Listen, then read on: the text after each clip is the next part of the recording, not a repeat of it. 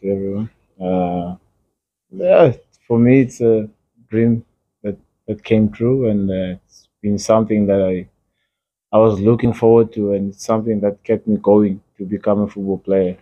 Uh, to see myself wearing this shirt, and uh, when it finally came, uh, I think also it came at the right time for me personally. Uh, and when I got here, I, I got welcomed uh, by the group of, of amazing players, and the technical team, and uh, and I think from the first day I felt home, I felt safe, and uh, till today I still feel good. And this is the most important thing that also I'm part of the family. I'm part of a team that turned into a family, and this is really good also in a, in a sport to feel at home and to feel like you are inside the family. So for me, it's, been amazing so far, and hopefully it will continue like this.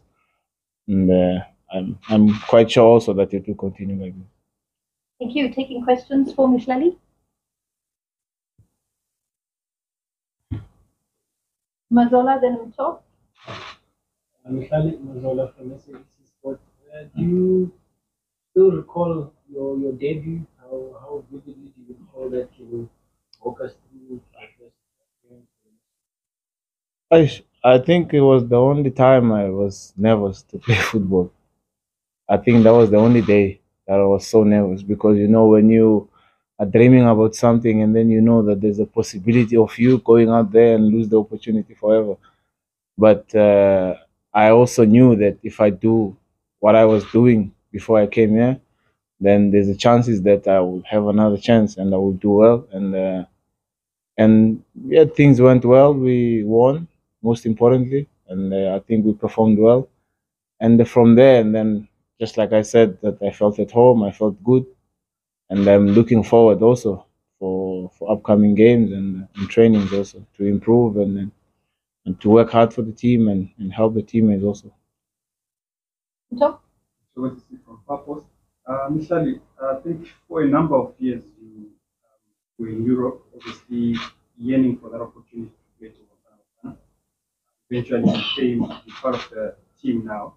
Um, what's what's your thinking about the direction that Bafana is taking? To get the sense that uh, you guys are a team that you know Yeah, of course, of course, of course, hundred percent, hundred percent. Uh, I think also you can tell with the performances, and also maybe when you come to see the trainings that the environment, it's amazing. I think also it's difficult to find this type of environment in football, even in, in club level. You know, to feel at home, to be happy, and to see good performances, and to play with good players, and uh, and this is what we have here.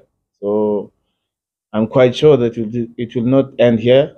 Uh, it will continue, uh, and there's more to come, and there's a lot, a lot of room for improvement.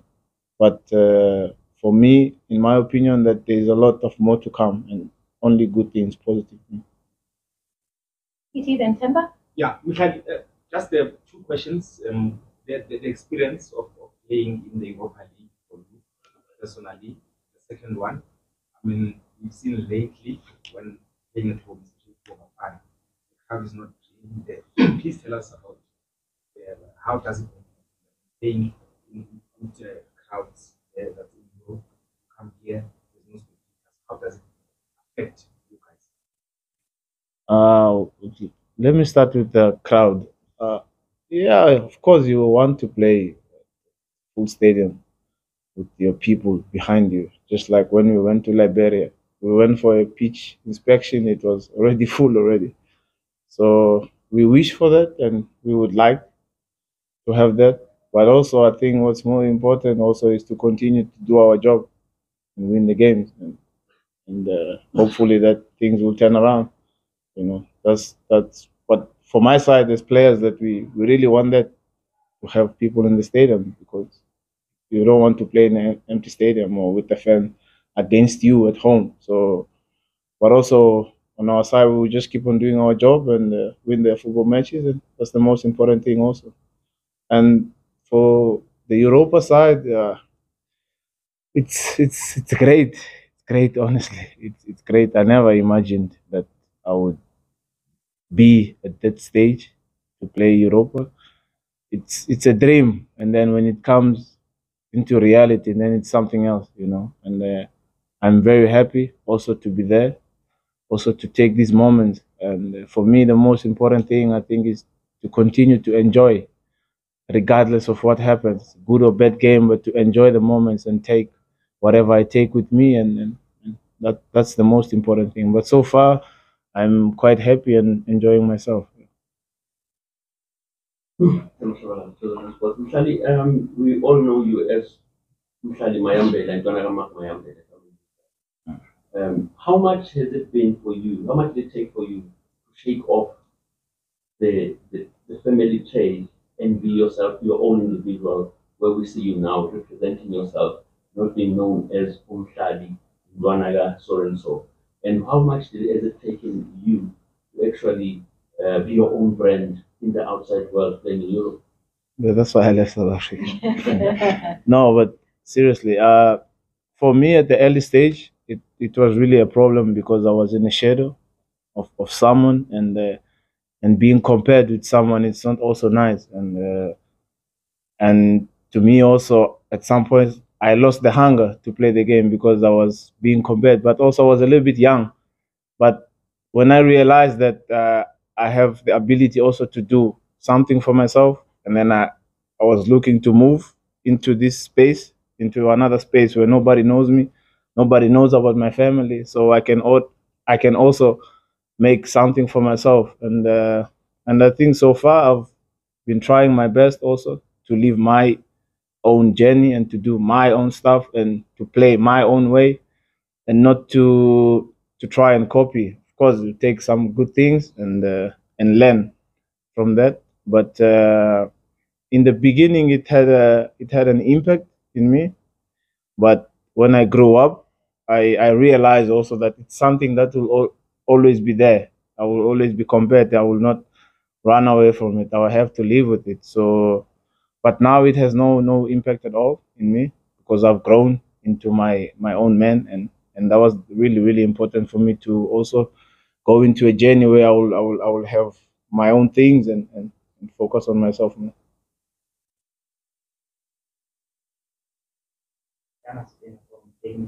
just wanted to find out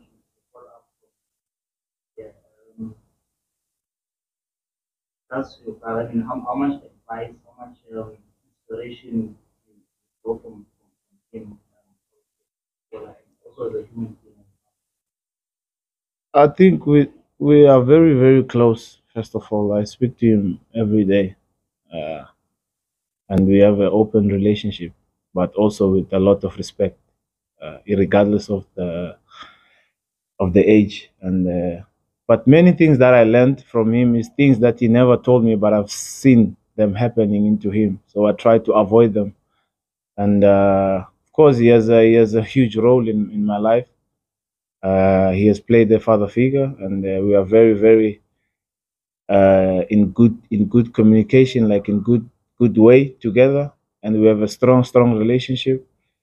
But uh, many things that is I've learned, they don't come like from his mouth, but it's something that I've picked up also because also I believe that the the best teacher is is learned from the actions, you know, and. Uh, so that's what I did also, and we are having a good relationship, and that's the most important thing.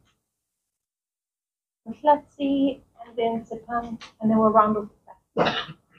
So earlier on, you touched on the playing in the Europa League and all those kinds of things. Um, most of uh, uh, guys in your, in your situation, in your position, you always get told that you go to a smaller, so-called smaller leagues and smaller clubs in Europe.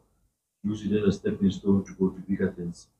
Uh, obviously, I, I, I, I think that that is still part of the plan for you. You want to you want to move to bigger things, Champions League, bigger club, and, and all that stuff. And know, how far are you on that process? Yeah, for sure. I would like to, since I've played, I'm playing the Europa. I would like to play the Champions League. I think also from my team, the goal was to qualify for the Champions League, and we qualified for the Europa. So honestly, I would like to to, to play for the Champions League. But also, most importantly, I would like to be where I'm playing, where I'm improving. So I wouldn't want to go somewhere that I would just be there for adding numbers. I would just like to be where I will play and keep on improving. Because what makes me happy is to play and improve every time. Uh, so this is the most important thing for me. But Champions League, yes, I would like to play. Especially about you've you've been in the squad for some months now. Um, ahead of AFCON, do you see yourself as one of those who in a good position to make the squad? How do you rate your chance of making the final AFCON? I don't know. No, no. Honestly, uh, there is no guarantees. I believe, I believe like there is no guarantees. You have to show it.